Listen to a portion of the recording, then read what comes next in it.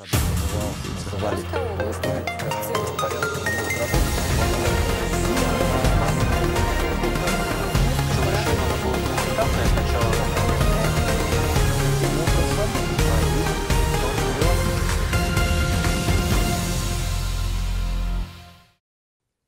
В эфире телеканала «Север» программа «Актуальное интервью». В студии Ольга Русул. Здравствуйте. И сегодня у нас в гостях депутат Государственной Думы Ярослав Нилов. Ярослав Евгеньевич, здравствуйте. Здравствуйте.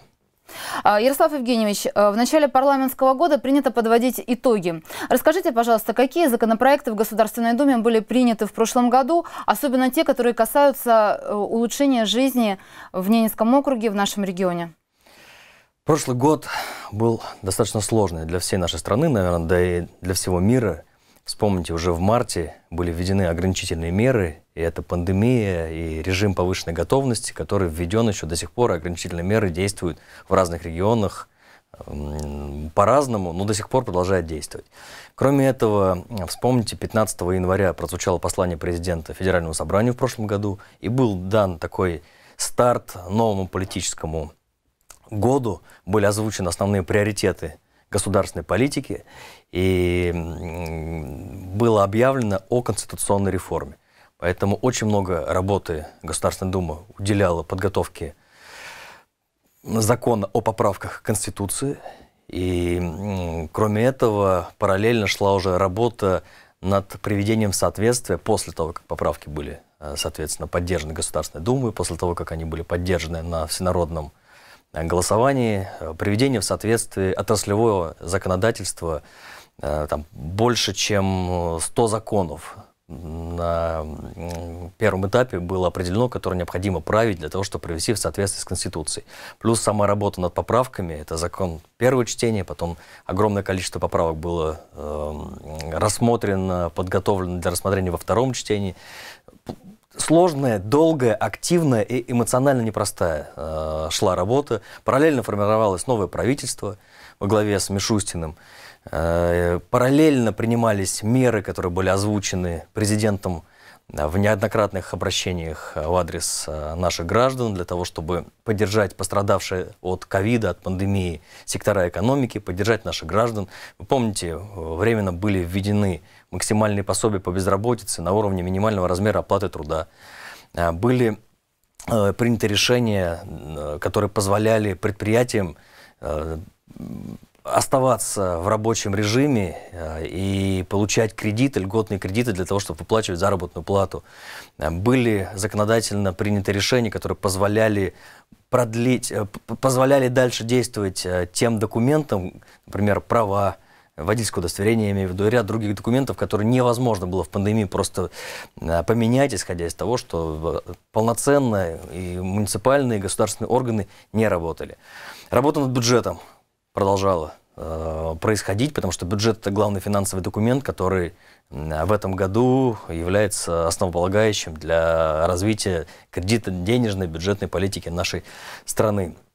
Кроме этого, э, принимались э, другие приоритетные для правительства законы, но прежде всего мы для себя поставили главную цель – это поддерживать и принимать и рассматривать, соблюдая определенный режим рассмотрения. Мы же тоже работали в определенных скованных таких вот рамках, исходя из того, что пандемии нам нельзя было допустить, чтобы пандемия проникла в стены парламента, хотя у нас порядка, на сегодняшний день порядка 150 депутатов уже переболели, но нам нельзя было допустить, чтобы у нас отсутствовал кворум. Поэтому был введен определенный режим работы Государственной Думы, сокращено количество заседаний, ограничен жестко был э, вход в Государственную Думу для посетителей. Многие сотрудники аппарата были переведены на удаленный доступ работы. И в целом нам удалось сохранить в Государственной Думе рабочую атмосферу, и все те запланированные документы, которые мы должны были рассмотреть, мы их рассмотрели. Это в том числе касается социальной э, политики, вопросы поддержки семей, детей, э, выплат э, безработным гражданам, помощь пострадавшим секторам экономики, продление срока действия различных лицензий, других разрешительных документов.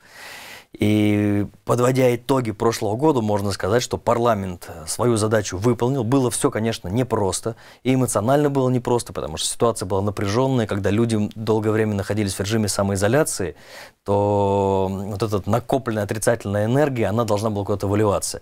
И я это прекрасно чувствовал на встречах. Мы не, не прекращали встречи с избирателями, вели их дистанционно, общались с журналистами дистанционно. С одной стороны, это открывало новые возможности. С другой стороны, вот этот Э, напряжение и эмоциональная какая-то такая пере, перенагрузка, она ощущалась. Э, мы всячески старались э, сделать так, чтобы в прошлом году был поддержан наш, наш законопроект, который фракция ЛДПР внесла о возврате выплат пенсионерам, работающим пенсии с учетом индексации. Э, до сих пор эти законопроекты не рассмотрены. Мы ожидаем, что они будут рассмотрены в феврале, в марте. Тем более, что сегодня заканчивается срок, когда правительство должно в соответствии с поручением президента предоставить свои предложения о том, каким образом будет решаться эта проблема, то есть э, возврат выплат с учетом индексации работающим пенсионерам. Мы пытались э, добиться того, чтобы тем лицам, кто ухаживает за инвалидами первой группы, выплачивалось не 1200, как сейчас, а хотя бы 10 тысяч. И 10 тысяч мало. У нас тем гражданам, кто ухаживает за детьми-инвалидами или инвалидами с детства, выплачивается 10 тысяч, а тем, кто ухаживает за инвалидами первой группы, только 1200. Это несправедливо, поэтому мы предлагаем и мы надеемся, что в послании президента Федеральному собранию, которое должно пройти ну, я думаю, что весной этого года, может быть, даже зимой, может быть, весной, разные, разные пока точной даты нет, но разные ходят э, слухи относительно даты проведения. Традиционно в послании уделяется очень много э, внимания именно социальной сфере, и мы надеемся, что вопросы, связанные с индексацией, поддержкой инвалидов и поддержкой семей, имеющих детей, они будут э, отражены в таком контексте, что потом начнется практическая реализация в виде поступающих в Государственную Думу законопроектов, которые потом Э, принимаются, несмотря на то, что аналогичные от, отклонялись, прежде всего, исходя из позиции Министерства финансов, которое себя ведет как жадный бухгалтер. Им главное, чтобы дебет с кредитом сходился, и всегда один ответ – у нас нет денег. Конечно, в прошлом году очень много денег было потрачено. Слава богу, у нас был э, фонд национального благосостояния. Это была некая подушка безопасности. Если бы не было этих средств, э, я не знаю, каким образом бы все те меры поддержки, которые э, были приняты, каким бы образом мы смогли бы тогда на фоне падения курса национальной валюты, на, на фоне падения стоимости нефти, каким образом все это можно было реализовать, это большой вопрос. Вспомните, все семьи, имеющие детей в возрасте до 16 э, лет, неоднократно получали выплаты. И последняя выплата была семьям, э, семьям с детьми в возрасте до 7 лет, до 7, 5, да. до 7 лет 5 тысяч рублей. Это, это колоссальные средства. Хорошо, что такое решение было принято.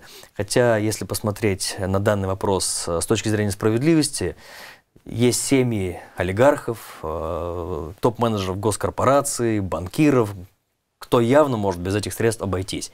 И если они бы добровольно отказались, и мы это предлагали, пусть они добровольно откажутся от этих средств, но эти средства потом потратить именно на социальную сферу, то есть больше помогать тем, кто нуждается. Э, полагаю, что мы постепенно, постепенно выходим а, из а, той непростой ситуации, в которой мы оказались год назад. А вспомните, мы же готовы не были. Еще ровно в январе я также приезжал сюда, также мы встречались в студии, где-то там в Китае какие-то больные, какой-то коронавирус. Для нас все это казалось так. Мы Далеко границы очень, не закрывали, да. катались туда-сюда туристы, и потом, когда уже первые э, пациенты, первые заразившиеся появились, которые накатались на лыжах на крутых европейских курортах, приехали в Россию, и когда появились первые симптомы, никто не знал сначала, как лечить, чем лечить, как тестировать. Но у нас масок не было, э, перчаток не было, антисептиков, вспомните, какой был дефицит. Это сегодня уже налажено производство, и в достаточной мере э, все обеспечены. Кстати, предприятием было, опять же, законодательно установлена возможность э, тратить деньги на средства дезинфекции, на перчатки, на маски, и все это в расходную часть предприятия, то есть не из прибыли приобретать, как это было раньше. Поэтому вы можете наблюдать, приходя там, в заведения общепита, в спортивные заведения, в заведения культуры, когда бесплатно раздают. То есть предприятие, да, тратит определенные деньги, но, но это тратится не из прибыли. Это также был э, принят специальный закон на эту тему.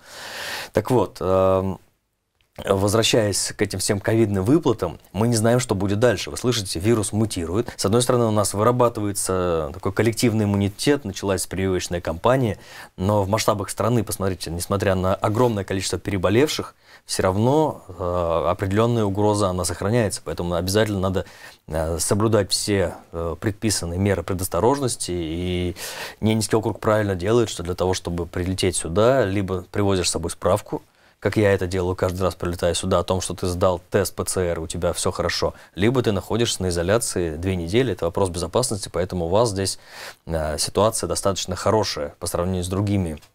Но это в том числе благодаря тому, что оперативный штаб э, и местные чиновники приняли грамотное решение для того, чтобы обезопасить, прежде всего, жителей Ненецкого, э, жителей Наринмара и Заполярного района от проникновения инфекции. Хотя я помню, как подпортили картину вахтовики, которые приехали сюда, и именно из-за них началось, э, началось распространение инфекции здесь. Вот, следующий, да, возвращаясь к законопроектам, мы очень надеялись, э, для нас это была такая, ну, достаточно ясная картина, что в этом, в прошлом году, 31 декабря, сделают выходным днем, и мы предлагали на законодательном уровне это закрепить, чтобы раз и навсегда вся страна знала. Нас опять правительство не поддержало, большинство в Госдуме не поддержало.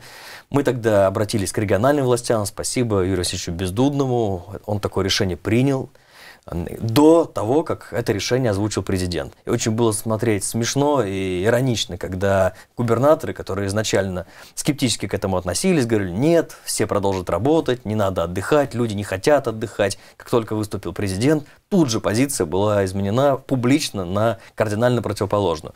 Мы надеемся, что все-таки в Трудовом кодексе такие поправки, они будут закреплены для того, чтобы вся страна на будущее знала. 31 декабря всегда выходной. И календарной вакханалии, которая была в прошлом году, в позапрошлом году, чтобы больше ее не было. Пандемия, кстати, подтолкнула нас к чему? Начали использоваться новые э, гибкие формы занятости. Это удаленная занятость, это смешанная занятость. И отдельные регионы до сих пор э, сохраняют свое решение о том, чтобы часть сотрудников работала удаленно.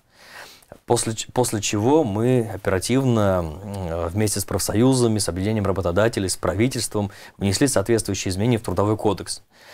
Почему? Потому что, с одной стороны, э, в пандемию, когда эти формы занятости стали использоваться, они не были запрещены, то есть их можно было использовать. С другой стороны, в Трудовом кодексе понятие удаленная занятость, смешанная занятость отсутствовало. Э, и в ходе использования э, этих форм стали возникать вопросы. Например, в Ненецком округе сотрудник переводится на удаленную работу и уезжает в Сочи к родственникам. Должна быть сохранена гарантия э, северных выплат ему. Мы это зафиксировали, что да, зарплата уменьшаться не может, вне зависимости, вне зависимости от того, где он удаленно будет работать. Вопрос компенсации интернета, электричества, доступа к базам данных, обеспечения необходимой оргтехникой. Вопрос был, на вопрос дан теперь ответ. Да, в трудовом законодательстве прописать все детально нельзя. Особая роль теперь уделяется профсоюзам, коллективному договору. Особо все детали должны быть раскрыты либо в контракте трудовом, либо в приложении к трудовому контракту. Но в любом случае, что мы наблюдаем? Мы наблюдаем, что для многих сотрудников, а, которые удаленно себя попробовали, это возможность оптимизировать свои и ресурсы, и Э, таким образом свой, э, свой процесс трудовой оптимизировать, чтобы больше времени тратить на себя.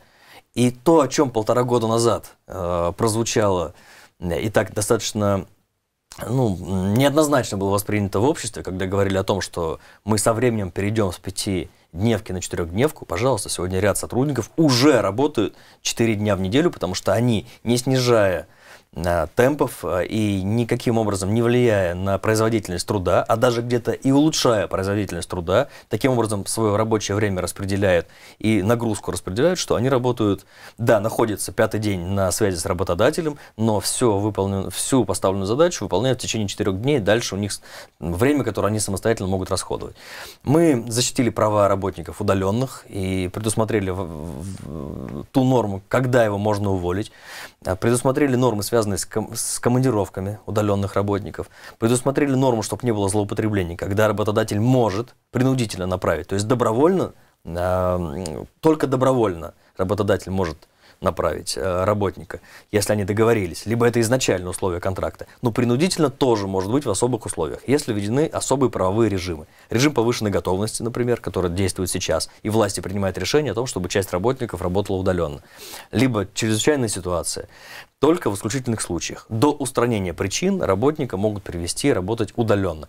Если работник не может работать удаленно, то э, в этом случае он не переводится, но тогда э, он, есть такое понятие в трудовом законодательстве, как простой. И в этом случае заработная плата не в полном объеме, но все равно выплачивается. Э, что касается северных, я сказал о том, что гарантия выплат сохраняется. И в целом мы видим, что пандемия подтолкнула, с одной стороны, к использованию этих форм и одновременно позволяет работодателям теперь на многих работников посмотреть по-другому здесь уже индивидуальные качества видны. Одно дело, когда коллективная ответственность, перед коллективом ставится задача, она так, ответственность размывается, и не знаешь, кто больше делал, кто меньше делал. А так работодатель смотрит, кто что, кто, э, что представляет из, э, из своих сотрудников. И кроме этого, работодатели теперь, смотрите, начинают задумываться, а есть ли необходимость содержать такое огромное офисное помещение, если можно гораздо меньше денег тратить на, соответственно, на аренду, и в том числе сэкономленные средства вложить, э, например, в новое производство и э, новые рабочие места образовать. Э, то же самое можно сказать и про перевод. С одной стороны, это злоупотребление, что нельзя делать, но с другой стороны, работодатели тоже это стали активно использовать. Это в том числе касается и Ненецкого округа, потому что здесь тоже такое право есть, использовать льготный налоговый режим как самозанятый. Таким образом, вчерашний работник, который находился в трудовых отношениях с работодателем, он регистрируется в качестве самозанятого, трудовые отношения прекращаются, и, соответственно, эм, э, теперь бывший работник является э, поставщиком соответствующей услуги. И он в данном случае сиюминутно может даже выиграть, ему даже больше работодатель, бывший его, готов заплатить, но при этом за него взносы в пенсионный фонд не идут, в фонд социального страхования не идут. В этом случае он полноценной социальной страховки не имеет, то есть больничные, э, там, травма на производстве, например. Что касается пенсии, пенсия в данном случае тоже не формируется. А работодателю выгодно, он не платит подоходный налог, не платит взносы во все внебюджетные э, фонды. Профсоюзы бьют тревогу, это действительно не очень, хороший, не очень хорошая динамика и вообще не очень хорошая ситуация. Потому как э, это такая отложенная проблема. Но это сегодняшняя реальность. И работодатели, тем более в условиях кризиса, таким образом ну, пытаются оптимизировать свои расходы.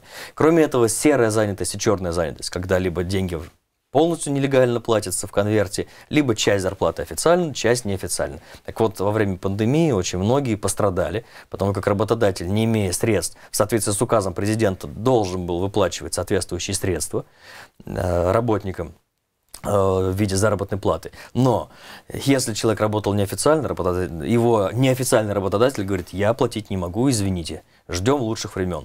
И если работал, получая часть в конверте, часть официально, официальную часть работодатель обязан был выплатить, но, сами понимаете, это потеря соответственно, доходов. Поэтому ситуация с пандемией, она еще и эту проблему посвятила, и Э, работники задумались, что если это не последний раз, а мы не знаем, как дальше будет развиваться ситуация, как раньше, как дальше будет вся эта эпидемия распространяться, во что она превратится.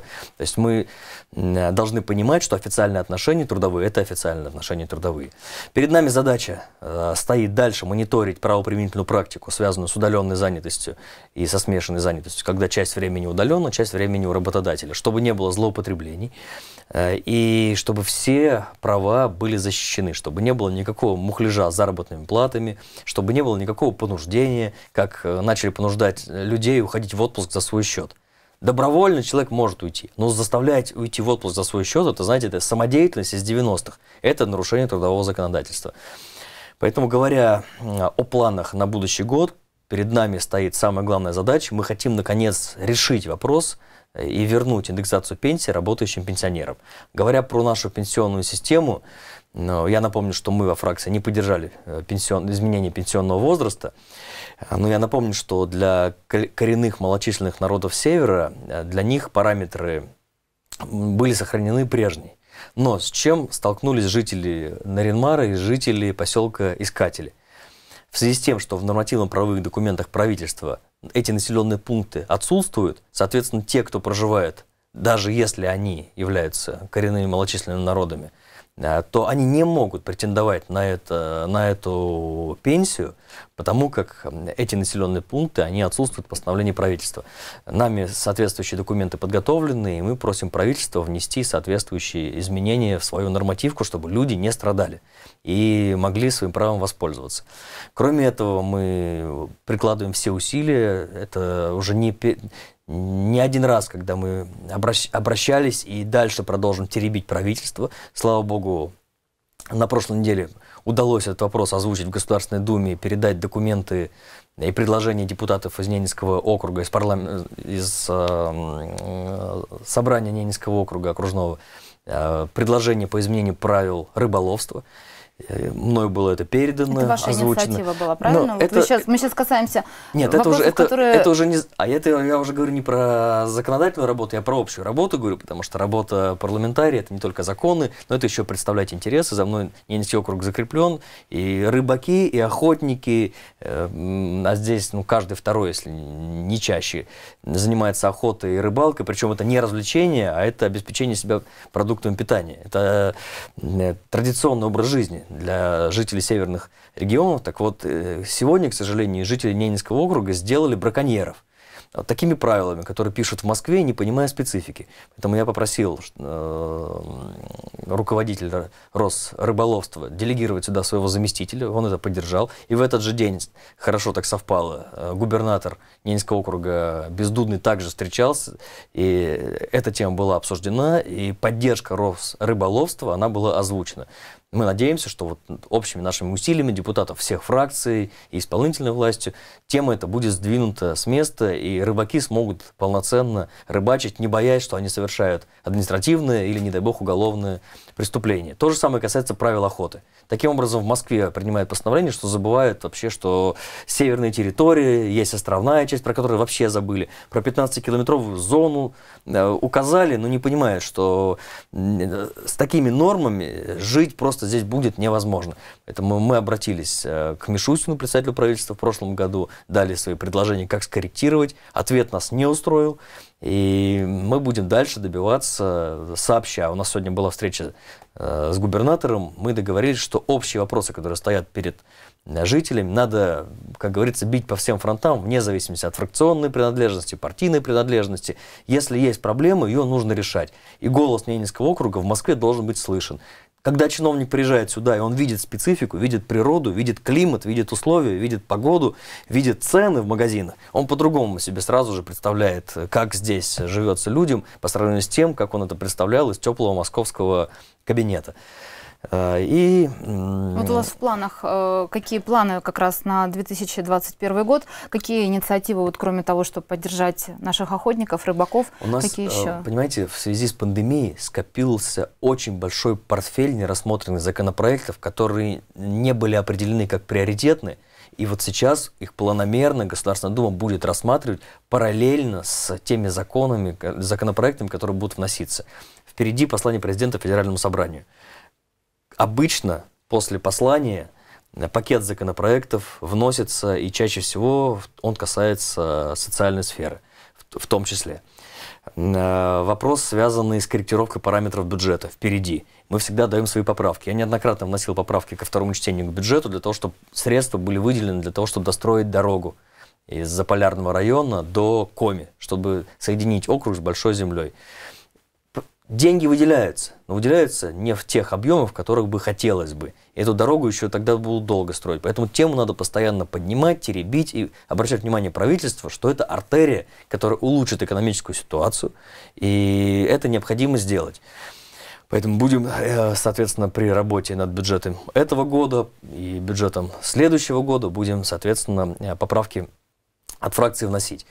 Я сказал про приоритет пенсионеры – вопрос, э, связанный с э, ветеранами боевых действий. у нас есть наш приоритетный законопроект, который Государственная Дума тоже никак не может рассмотреть. Мы предлагаем ветеранам боевых действий выплачивать ежемесячно не меньше, чем половину прожиточного минимума ко всем тем выплатам и льготам, которые существуют сегодня. То же самое касается и льгот на э, вывоз мусора. Из-за этой мусорной реформы ветераны боевых действий, они попали в несправедливую ситуацию, когда с них также, также стали взимать соответствующую плату. Вопрос поднятия стипендий, наш законопроект. Э, вопрос э, освобождения от подоходного налога тех, кто получает меньше двух МРОД. Мы в этом, в этом году, в прошлом году Государственная Дума приняла закон, э, с одной стороны, социально важный, и мы подняли НДФЛ, то есть налог, подоходный налог, с 13 до 15 процентов для тех лиц, кто получает больше, чем 5 миллионов в год. И эти средства по решению, по предложению президента, они будут аккумулироваться для того, чтобы лечить, лечить людей с орфанными, то есть тяжелыми заболеваниями. Но этот, этот шаг был сделан, и он продемонстрировал э, дальнейшее намерение двигаться в сторону введения прогрессивной шкалы налогообложения. То есть для тех, кто получает много, должен быть налог выше, для тех, кто получает мало, ставка должна быть вообще ноль. Мы такой законопроект внесли, и, соответственно, настаиваем на том, чтобы дифференцированный подход в этом направлении был, пока он тоже не рассмотрен. Кроме этого, мы считаем, что с одной стороны хорошо, что ввели новую систему определения минимального размера оплаты труда, когда отошли от э, той системы, которая действовала еще в прошлом году, прожиточный минимум определялся через расчет потребительской корзины, а МРОД должен был быть не меньше, чем, э, соответственно, прожиточный минимум, который определялся в зависимости от стоимости потребительской корзины. У нас есть поправка в Конституцию, э, в Конституции, э, точнее, это уже не поправка, это уже норма действующая, где говорится о том, что МРОД не может быть ниже, чем прожиточный минимум. Кстати, в прошлом году эта норма, и в этом году эта норма как, ни, как никогда актуально, потому что, потратив такие деньги в правительстве, могли бы предложить, а давайте МОД, МРОД не будем повышать э, такими темпами, как вот мы повышали там, последний там, год. Нет, МРОД не может быть ниже прожиточного минимума. Хотя вспомните, еще там, несколько лет назад МРОД не дотягивал до прожиточного минимума. И правительство всегда это объясняло тяжелой экономической ситуацией. Теперь новый э, предложен формат расчета прожиточного минимума э, считается медианный среднедушевой доход, когда берутся все доходы граждан в стране, анализируются и находится э, та величина, 50% э, ниже которой получают Э, доходы меньше, соответственно, 50% больше. Дальше э, используются специальные коэффициенты и рассчитывается таким образом прожиточный минимум. С одной стороны, это европейская практика, с другой стороны, у нас есть претензии к этой практике. Потому как прожиточный минимум будет расти только тогда, когда реальные доходы граждан будут расти, но еще и должна быть низкая инфляция. Потому что если будут расти доходы и инфляция будет высокая, в этом случае э, вся та, все то увеличение прожиточного минимума э, просто будет поглощаться инфляцией. То же самое касается МРОТа. МРОТ теперь определяется через медианный, э, медианную заработную плату, используются также коэффициенты соответствующие. Но опять же, система, с одной стороны, хорошая, на Западе она используется, но там используются коэффициенты 0,6, а у нас 0,4. И эта система будет позволять нормально обеспечивать рост минимального размера оплаты труда только тогда, когда реальные зарплаты будут расти при низкой инфляции. А у нас, вы знаете, инфляцию считают там, 4,5%, заходишь в магазин, в аптеку, получаешь квиток за услуги ЖКХ и понимаешь, что инфляция гораздо выше, чем той официальной, которую озвучивают нам и рассчитывают э, в Минэкономике, Росстат. Поэтому наша задача теперь при подготовке бюджета следующего года обратить внимание вот на эти коэффициенты. Мы и в этом э, году предлагали другие коэффициенты, чтобы они были на европейском уровне. Но, э, как всегда, позиция Минфина в данном случае была определяющей. Но мы продолжим э, дальнейшую работу в этом направлении. Ситуация впереди может быть самой, э, самой разной. Впереди выборы в Государственную Думу. Э, и ситуация непростая и в стране, и в мире, и все это может отразиться на результатах выборов. Мы надеемся, что ЛДПР наберет э, достойный процент, И мы э, хотим поломать монополию э, одной партии. В противном случае у нас так и дальше будет ситуация, при которой все по указке сверху, все только то, что хотят в правительстве, а э, депутаты, они предлагают, но их не слышат в правительстве, пока точку в этом вопросе не поставит президент. Была ситуация очень интересная два года назад, когда повышали пособие для семей э, с детьми-инвалидами, оно составляло 5 тысяч. Мы предложили и внесли проект закона увеличить до, миним, до уровня минимального размера оплаты труда, там, на уровне 11 тысяч. Нас правительство не поддержало, Минфин не, ну, главный Минфин, закоперший, как говорится, Минфин не поддержал, правительство не поддержало, Госдума не поддержала. Через буквально несколько недель, может быть, несколько, там, может быть, месяц, послание президента, президент говорит, мною принято решение увеличить пособие до 10 Э, тысяч. Это регулируется сегодня указом президента, а не законом. Соответственно, президент подписал указ, и пособие сегодня составляет 10 тысяч. Вывод. Значит, можно.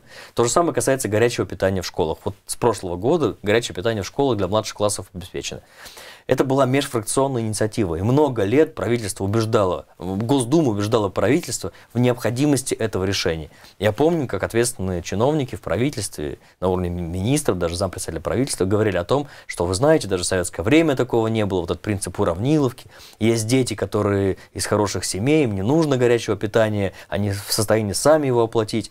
Но президент сказал, это наши дети, поэтому мы понимаем, что есть дети из разных семей, но мы приняли решение, чтобы все были в данном случае обеспечены горячим питанием. И деньги сразу же были найдены. Тот же самый вопрос касается семей, имеющих детей в возрасте от полутора до трех лет. Еще до недавнего времени 50 рублей в месяц получала семья, у кого дети от полутора до трех лет.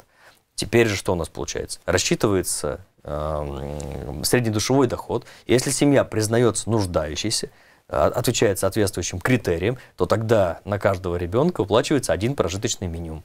И Дальше пошла федеральная власть. Но опять же, это прозвучало в послании президента.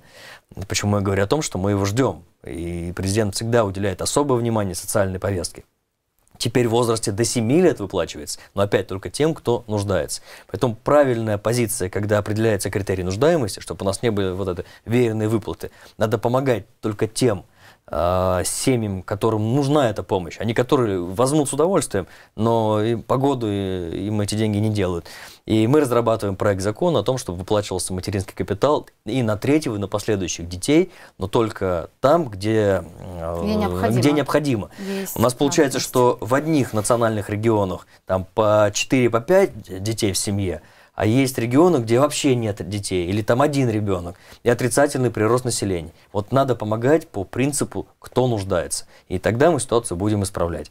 Ярослав Евгеньевич, э, я Заканчиваем? Да, мы заканчиваем. Мы ждем вас в нашей студии. Э, вы расскажете снова нам об инициативах. Вы у нас частый гость. Я приезжаю практически каждый месяц, когда у нас региональная неделя. Другое дело, что возникшая пауза – это по объективным причинам, пандемия, и ваши журналисты, они работали в особых условиях, и нам доступ э, в округ определенное время вообще был ограничен э, в связи с э, коронавирусной инфекцией. Слава богу, постепенно мы из этой ситуации выходим. Я надеюсь, что она больше никогда не повторится, поэтому я очень хотел бы, чтобы все наши последующие эфиры, а, они проходили, и мы могли, положа руку на сердце, сказать, что у нас ситуация не на бумаге, не на картинках, не на совещаниях у чиновников, а реально улучшается. А через год мы встретимся, и вообще, чтобы забыли как страшный сон про перчатки, про маски, санитайзеры, эти ковиды, ПЦРы и прочее, прочее, прочее. Было бы замечательно. Я напоминаю, у нас в гостях был депутат Государственной Думы Ярослав Нилов. И программа «Актуальное интервью» подошла к концу. Оставайтесь с нами на севере. До встречи.